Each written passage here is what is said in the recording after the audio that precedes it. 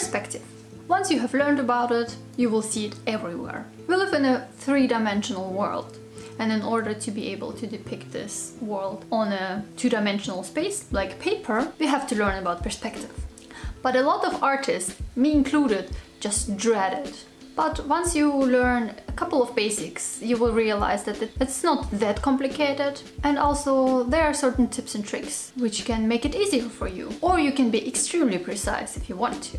So with this video I want to introduce everybody to the basics of perspective, but also go into a little bit more detail for everybody who knows the basics of perspective but is still kind of struggling with it. I myself figured out what kind of typical mistakes I do when I work with perspective and oh boy was making this video helpful to me. So hopefully I can share some of this knowledge with you and maybe it will help you too. So let's talk about it.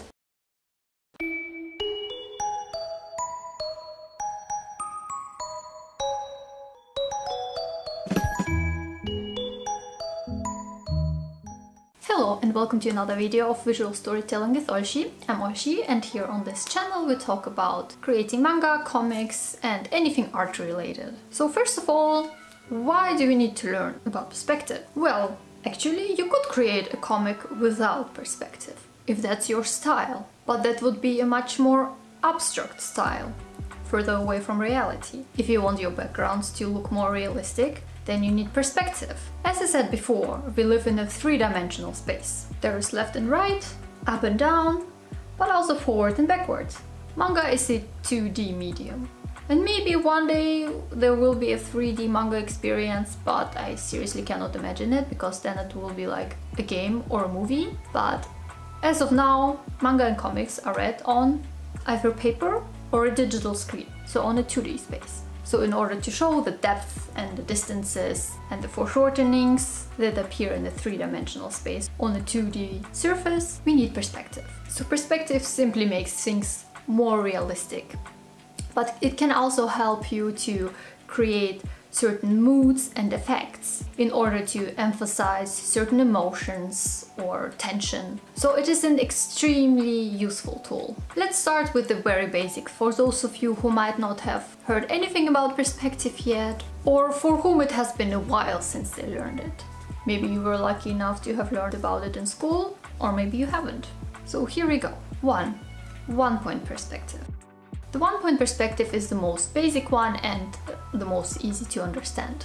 First, within the panel, you have your horizon line, which represents the viewer's eye level. And everything that is above the horizon line is above the viewer, and everything that is below the horizon line is below the viewer. And everything that is on the horizon line has basically the same height as the viewer. And if you as a viewer go down, then the horizon line goes down as well. With one point perspective you have one vanishing point which can lie anywhere on the horizon line. All the parallel lines which lead away from the viewer meet at this one point.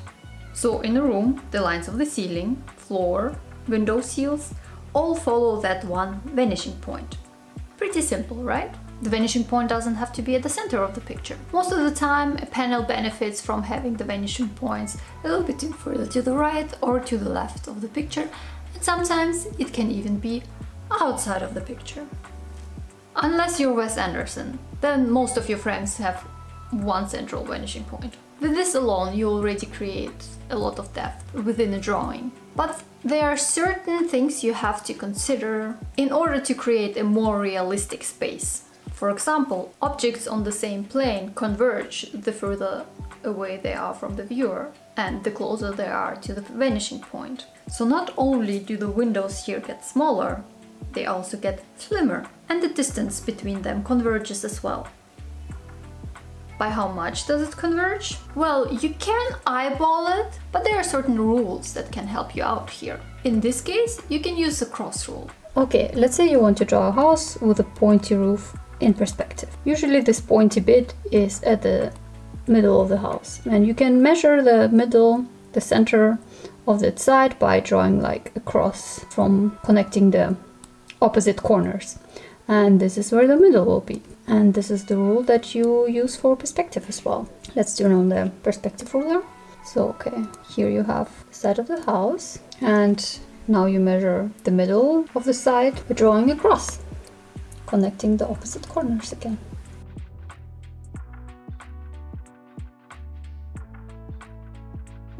So this is where the middle will be. So now you can draw the actual roof. Obviously you want to add more three-dimensionality to it, you can extend the roof because and then continue drawing in.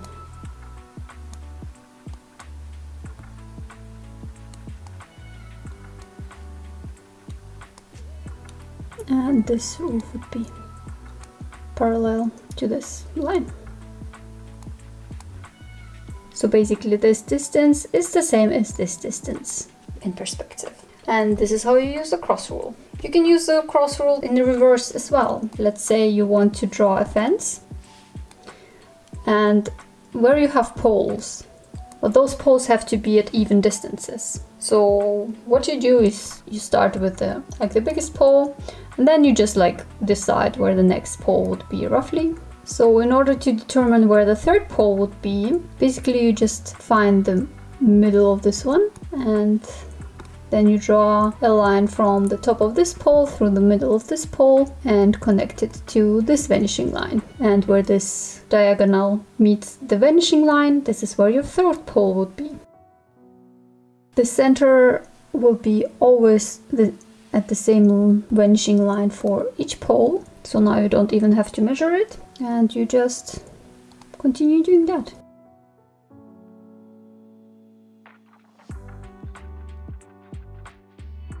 This way you draw a much more realistic background. Of course you don't have to be that precise. With enough practice you eventually will probably be able to just eyeball it. But in order to have more believable backgrounds, the cross rule can be pretty useful. And also even if you do develop a good intuition. Sometimes it's good to go back to some of these rules just to make sure that what you drew is kind of in the correct space. But then again, most backgrounds do not have this kind of evenly spaced objects in them. Usually you have a, let's say you have a street, there you have just buildings that have different kind of width, the windows have different sizes. So in order to still try and be more precise, remember this rule of thumb, the closer something is to the vanishing points, the more flat it becomes. This is a very common mistake for beginners and a little bit more advanced artists. They just draw the foreshortened side way too long.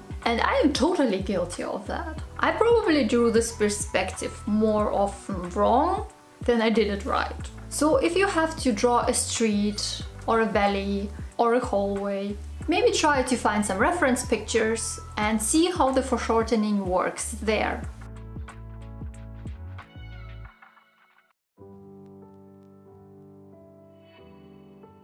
The windows often become mere stripes the further away they are from the viewer. And again, you can eyeball it or you can also create a kind of perspective grid using the diagonal rule. So here's how you use the diagonal rule. First, draw a room, then decide where your vanishing point and your horizon line gonna be. I already created it here with the perspective ruler. Then I draw just a random line parallel to the horizon line here in the room. Then while turning the perspective ruler off, I mark just even distances on, on this line. And obviously I cannot use the ruler directly here, so what I do is just like copy and paste and then just place them evenly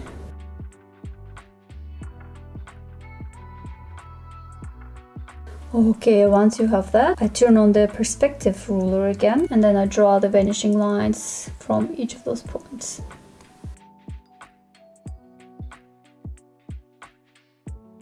Then I uh, draw another random line, parallel line here. Doesn't really matter how far it is, shouldn't just be like too much of a distance. Then I turn off the perspective ruler so that um, my line doesn't snap to the perspective ruler. And then I draw a diagonal through this first square. Only I extend it to the this corner of the room, but I make sure that it stretches from this corner to this corner. And now, wherever, wherever this red line crosses the vanishing lines, this is where you will have another horizontal lines and you, you will know that each of those distances is the same as this distance.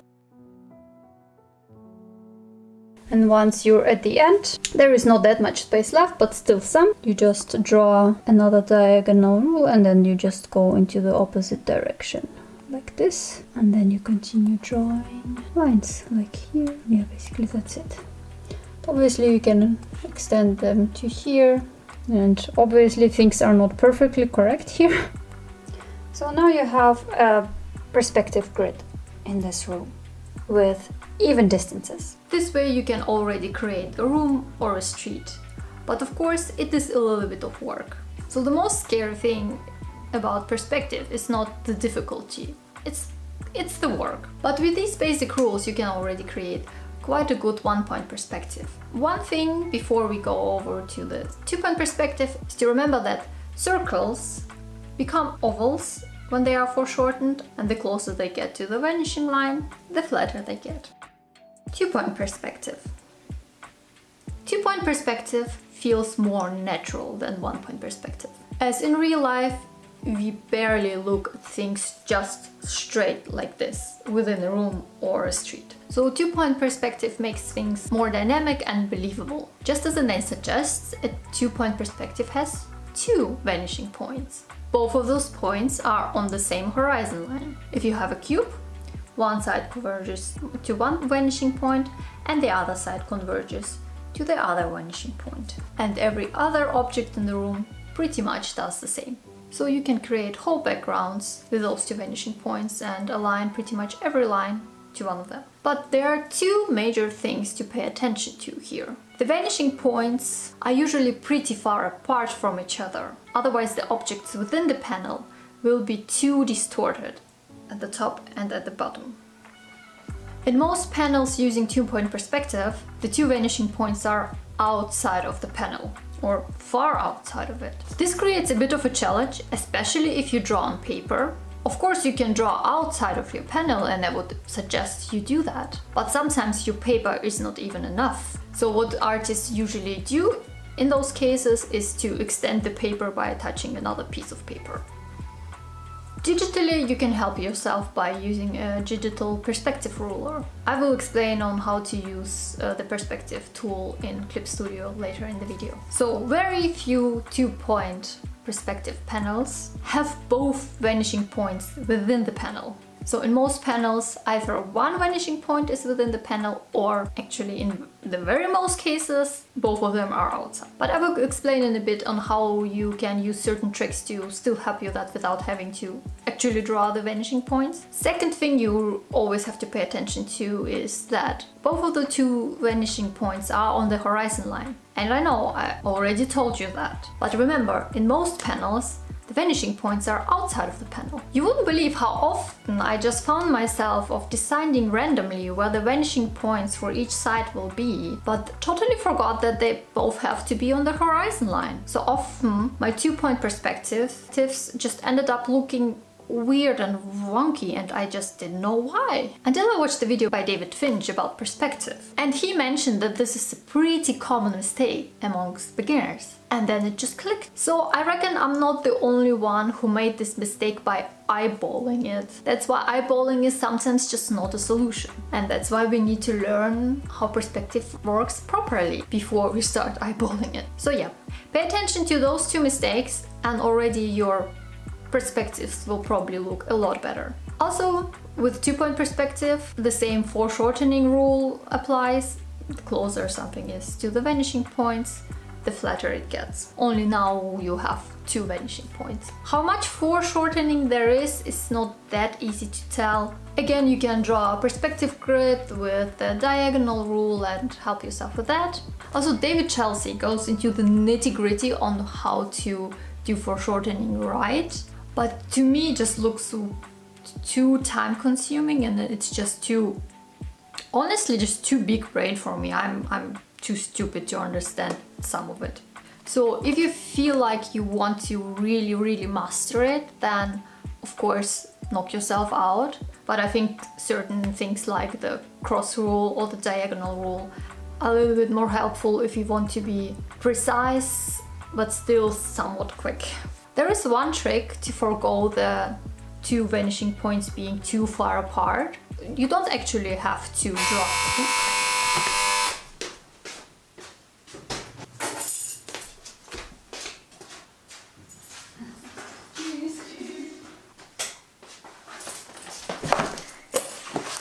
Perfect timing. Gott, auch Manga in der richtigen Perspektive. Now I have my oh, and it's so new. Wow, wow. Compared to the library version of it. Thanks to my friend who gave away her copy because she wasn't using it. Thank you so much. So yeah, where was I? Anyways, there is like a shortcut of not having to draw the actual vanishing points. Here's how you do it. So first you draw a horizon line as, you, as per usual. Then figure out where about the center of the picture is gonna be. And then starting from the horizon line, measure out even distances and mark them. So let's say it's uh, one centimeter here, just for the purpose of simplicity. So next, starting on this, um, next on this side, do the same, just make, but make the difference somewhat smaller. So let's say here we make it, I don't know, seven or eight millimeters. Yeah, eight is good, I think.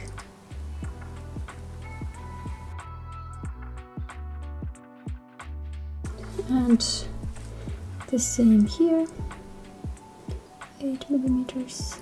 Then you connect each of the dots.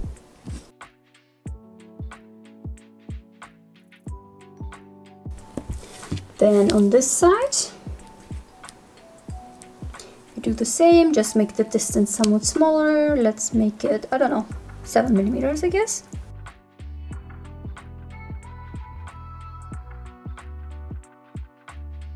And then do the same here, connect this dot this dot, this one to this one, and so on.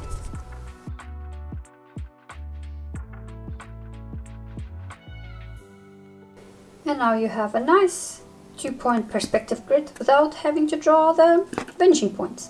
And then you just use the lines as the guideline for where everything else is gonna go.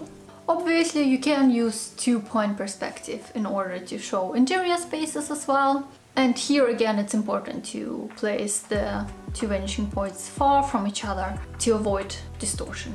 And also try to think in shapes like boxes. Almost everything can kind of fit into a box within the perspective. Sometimes you can even create just an illusion of a perspective without actually using vanishing points. You just draw parallel lines, like here. In some cases it works better than in others, and if you overdo it, your perspective will just look like from a Sims game. But in many cases, it kind of works out, especially if the background is covered with the characters in the panel. Still, if you compare it to an actual perspective, it does look a little bit more stiff, I guess. 3. Three-point perspective. With a three-point perspective you get one more additional vanishing point. But not on the horizon line, but far above or below it. Depending on which you choose, the reader is looking up or down at something. Generally this perspective gets used the least for practical purposes. It's really dynamic and impactful, so it's better if you use it sparingly. Otherwise you might overwhelm the reader a little bit. And also it does cost you more time to create it. You can use it to show how big or menacing something is. Or you can use it to show an overview of a place to create this kind of distance to the reader so that they don't feel like part of the scene anymore or it's literally for the basic overview to show where everything is. The most common scenery where the three-point perspective is used is uh, skylines, sometimes seen from below and sometimes from above. Here the horizon line is often not even within the frame. Because when you look up, then everything that is at the height of your eyes is not within your frame of vision anymore. The third vanishing point, point is also most often outside of the panel, but can be inside sometimes. So again, The perspective tool in Clip Studio can be extremely useful. If you draw on paper, again drawing a perspective grid might be a good idea. It's not always easy to figure out beforehand where the vanishing points should be. You can start by drawing a very rough sketch and then based on this sketch you can create the perspective grid or the perspective ruler. And again, you don't have to be super precise. Often it's enough to know where the third vanishing point is roughly gonna be and then as long as none of your lines step out of the line, you should be fine. Oh, and by the way, the trick of measuring even distances and connecting those dots in order to create a perspective grid, you can use it here as well, of course. And just on a small note, Perspective is not the only way of showing a three-dimensional space. There are certain other things that we already use often just automatically because we know how the world works that do show depth of a room. For example, there is overlapping, so we know that the person who is partly covered by another person is further back. We can also use different sizes. Obviously, whoever is bigger in the picture is closer to the camera. An artistic device you can use is also fading. Anything that is further in the background gets thinner lines, and the closer something is to the camera, the thicker the lines get. And of course, you can also use the position of the objects. You know that this wagon here is further away from the camera than this wagon here, even though there is no clear perspective used here. Most of the lines are parallel. 4. Using the perspective grid. So now that we know how to create spaces roughly, you kind of have to place characters in it. Here again, if you want to be really precise, you can use the perspective grid for it. If you draw a line from the top of the head of a character to the vanishing points and then you connect the bottom of the feet to the vanishing points, then you can move the character within the space and the height of the character will stay the same as long as they stay within those two lines. And notice how the horizon line always cuts across the same space. This way you can move the character closer to the camera, then a bit to the right, then a bit to the left. And if the character is below the horizon line, let's say the distance to the horizon line is like a headspace, then if you draw a character of roughly the same height further in the background, then you also just measure like roughly their head size to the horizon line in order to still make them stand on the same level. This way you can use the perspective grid to draw anything within a room. So let's say there is like a window around here. So based on this window I want to draw a door on this side of the room. So how do I best do that? Well, you can just follow the grid. Basically where this line is, everything that is in this room around that line has the same height as the window. And in normal rooms, doors are usually somewhat lower than windows. So we can draw a door here. So it's two squares. So if the door would be here it would be this slim. So okay now we see two squares is like way too narrow for both the window and the door so in the perspective you don't really see that but you can see it if you compare it to here so it's good that we have the perspective grid so let's try and correct that i guess three squares would be a good width so Let's do that. Three squares here. Let's do it in that direction. Three squares here. Alright, now we have much better door and window. Much more natural sized door and window. If we drew the window here, it would be like around this size. Obviously my grid isn't perfect, so yeah, the window would be around this size. So let's try and draw a desk as well, maybe on this wall. Desks are usually maybe somewhat lower than windows are, so maybe about this height. Then, because we are getting closer to the vanishing point, um, the surface is gonna be pretty flat. And then we have legs here. Obviously I cannot be that precise right now because I, I don't want to zoom in too far. Um, so this is just like a really rough sketch. Then you want to draw a chair in front it's actually okay to maybe like draw just some rough squares for now.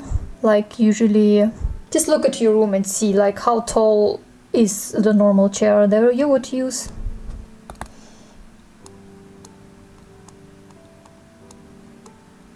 So maybe it's about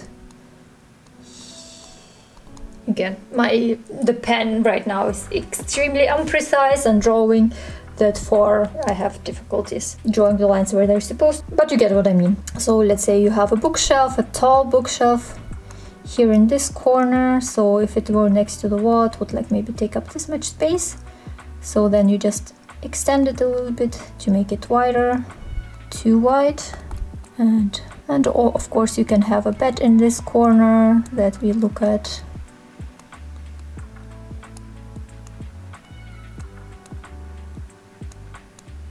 And uh, maybe you have another window on this side. So three squares down to here. So yeah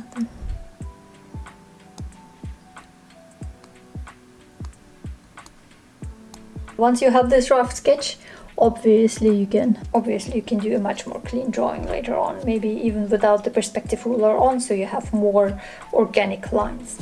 The how to draw a manga perspective edition goes into a lot more depth into how to use the perspective group properly and how to place the characters in the right proportions within the room. So I uh, highly recommend this book as well. So yeah, the perspective grid on paper is kind of self-explanatory. Now let's try to use the perspective ruler in Clip Studio.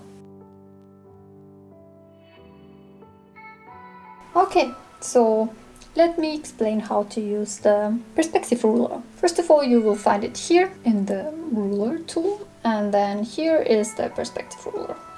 So how it works is that you create perspective by deciding where your vanishing points will be. So you draw, just start anywhere, draw your first vanishing line, and then a second vanishing line. And where those two meet, it will create your first vanishing point as well as the horizon line. So now you have a one point perspective. So if you draw, then all these lines will converge to here. No. All the vertical lines will snap to just be vertical and also horizontal lines are gonna be straight.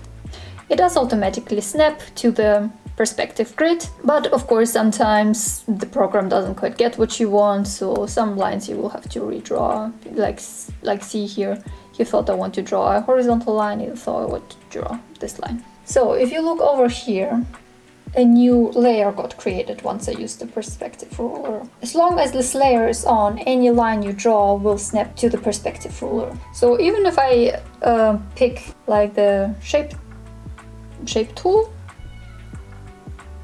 it will snap to the perspective grid.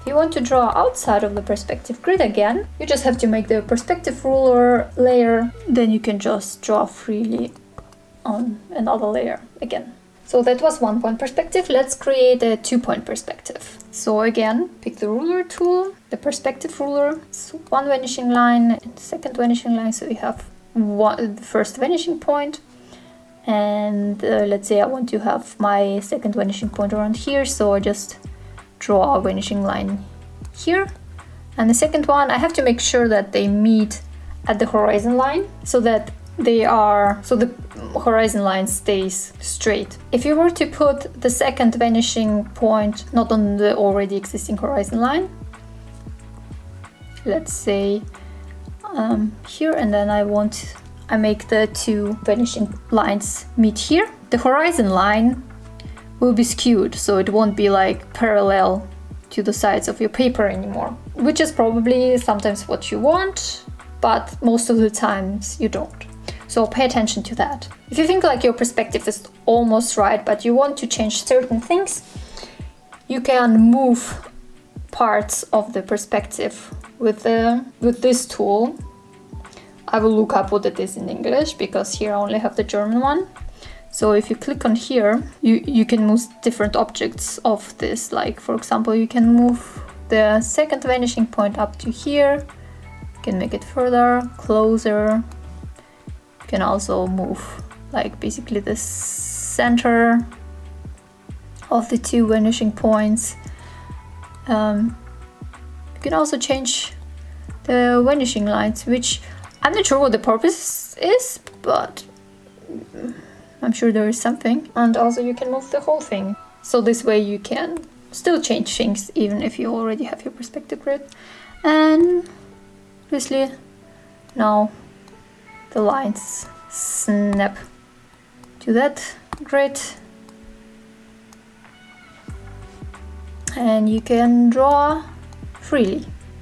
For the three point perspective, it's pretty much the same spiel, just you add one more point. So you add one vanishing point, second vanishing point, and then you decide where your third vanishing point is gonna be. Let's say it's somewhere up there.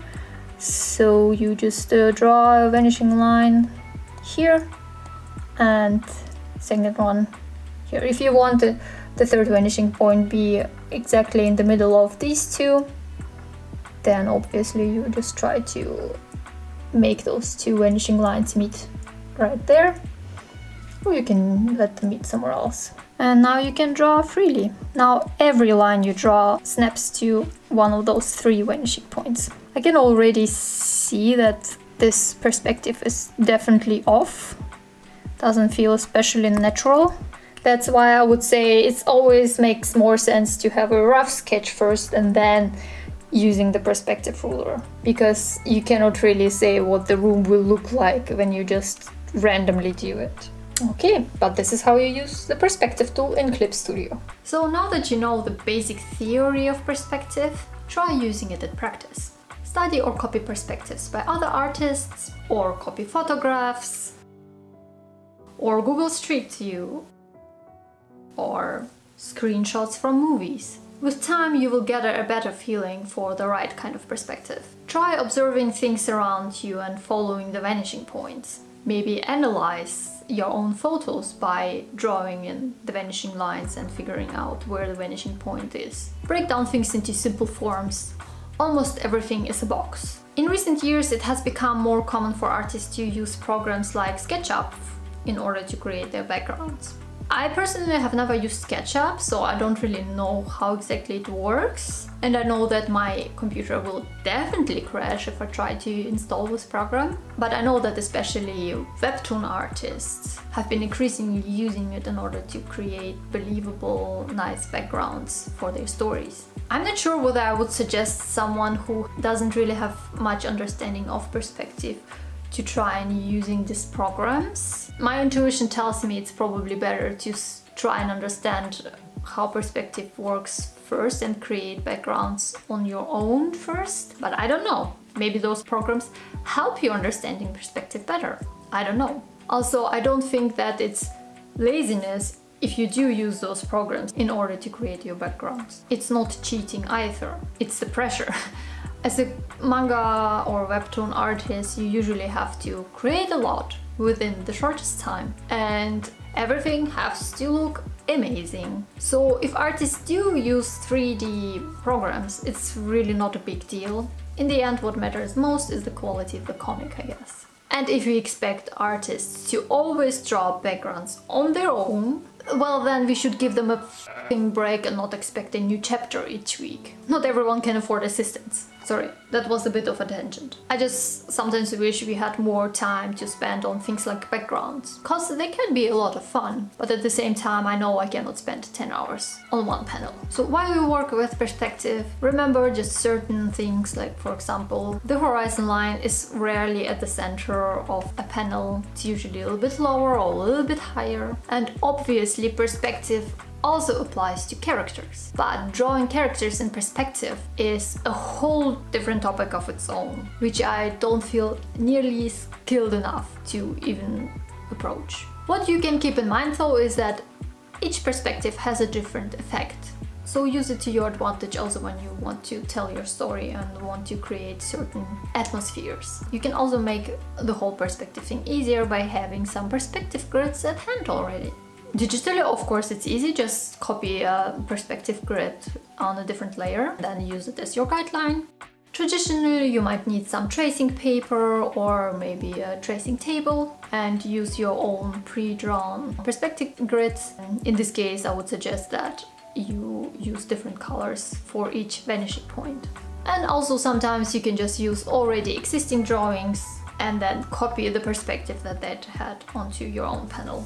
And always remember, you don't have to be perfect at it. As long as the space looks plausible and not totally warped, it's okay not to have a perfect perspective. And sometimes it's actually better to have a wrong perspective. A couple of years ago there was this artist who noticed a certain thing about one frame from My Neighbor Totoro. If you follow the vanishing lines there, that they don't actually meet at one vanishing point, but they have different vanishing points, which wouldn't really make sense in real life, but for that scene it just made more sense to make the space wider by using two different vanishing points. So I guess once you really understand perspective very well, you can bend the rules to your liking, however you want. Okay, so these are some basics that will hopefully make you understand perspective somewhat better and also will help you improve your background. If you want to go further into detail, I highly recommend those two books I mostly used for this video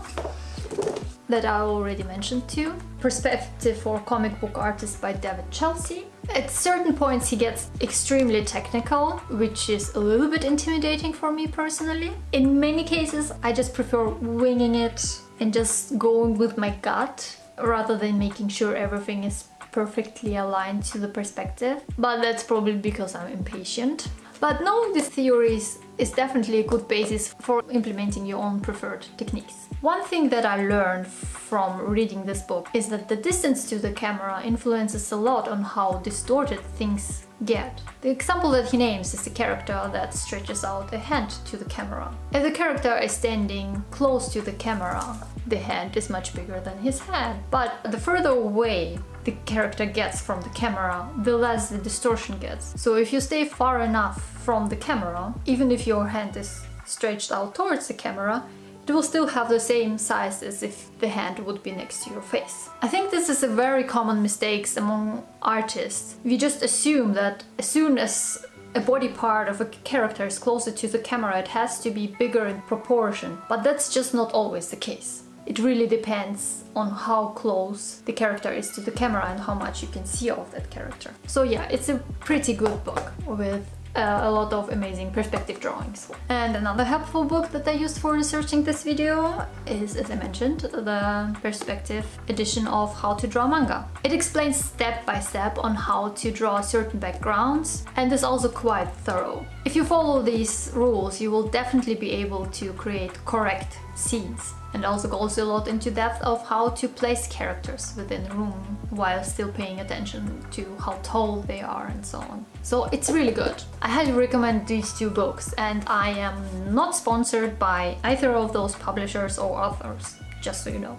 I just really like those two books. If you read them, you will probably know almost everything you need to know about perspective. As, at least as a comic artist, you don't need to be more precise than that. I know the information in this video might be a lot. I tried to keep it simple first, but then I saw that there's actually plenty of basic information on 1, 2 and 3 point perspective, so I decided to go a little bit further into depth and maybe expand upon those basic things just so that not only beginners but also people who have some experience with perspective can take something from it. Understanding the dimensional space is not easy and believe me, I'm pretty bad at it and I still need to practice like a ton. So don't be harsh on yourself if you if you don't master it straight away. Try to begin by applying maybe a one point perspective to one panel, then try a two point perspective and uh, maybe once in a while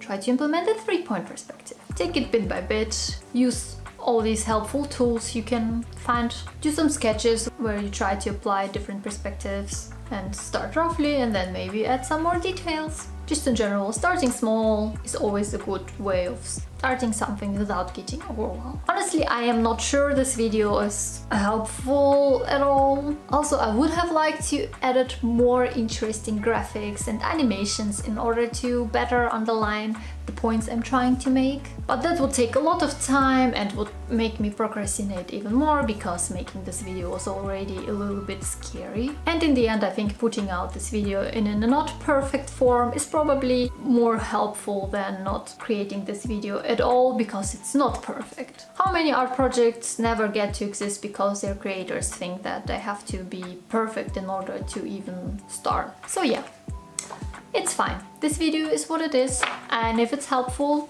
I hope you leave a like, maybe a comment. If you don't find it helpful, you can also leave a comment and press the dislike button.